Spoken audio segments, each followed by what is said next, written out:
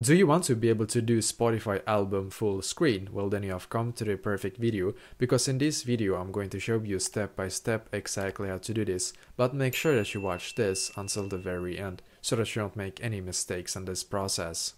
So what I'm going to do first is to go into my Spotify application and as you can see I'm currently on my Spotify application right now. So what I need to do right now is to actually find the album that I want to make it like full screen basically. So as you can see I'm currently on this page right here and I want to be able to make for example this album right here. As you can see if I click on album I get all of Drake's albums in here. So let's say that I would want to make this album right here full screen. So I'm just going to click on this album right here as you can see and basically you get all of the songs that are on the album right here as well as you can see which is great. But if you want to be able to make it full screen well then what you can do right here if, as you can see if you can start just playing one random song in here for example this one and then you can click on this one right here. As you can see this like arrow right here where it says expand then you will be, be able to make it bigger as you can see.